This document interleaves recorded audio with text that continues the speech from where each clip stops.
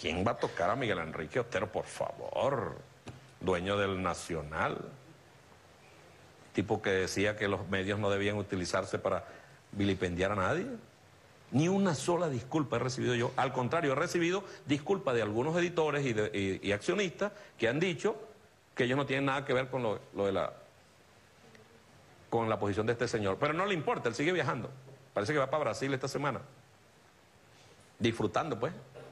Y hoy salió una prohibición de grabar y enajenar, es el término. Los bienes del nacional. Y primero serán los bienes nacionales y después, después serán los bienes de ese señor, porque él es el dueño del nacional.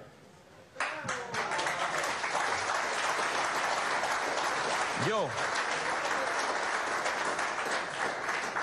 yo no, eh, una, es una demanda un realero.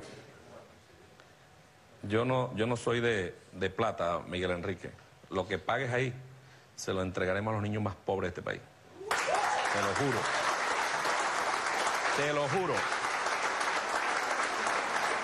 Me iré para el sitio donde haya niños huérfanos, los más pobres, y esa plata la llevaré para allá íntegra. Pero yo no voy a aflojar. No voy a aflojar. Aquí la verdad va a tener que salir. Y ustedes, dueños de los medios, que han hecho todo lo posible por hacerle daño a este pueblo desde el año 2002. Recuerden quién estaba al frente de Globovisión durante tanto tiempo que volvieron loco este país. ¿Quién estaba?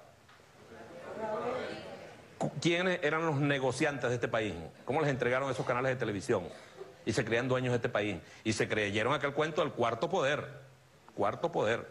Pues yo no voy a aflojar. Y si a mí me pasa algo en este camino, le pido al pueblo que no afloje.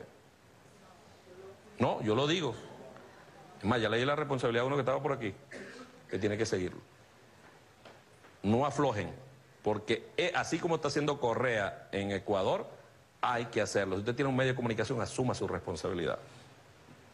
Asúmalo.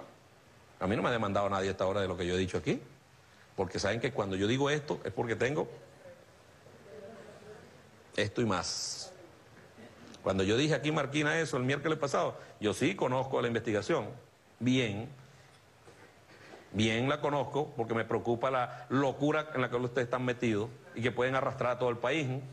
Y yo soy responsable de muchas de las cosas de este país porque yo soy presidente de la Asamblea Nacional. Yo no soy un irresponsable como tú, ni como los tuyos.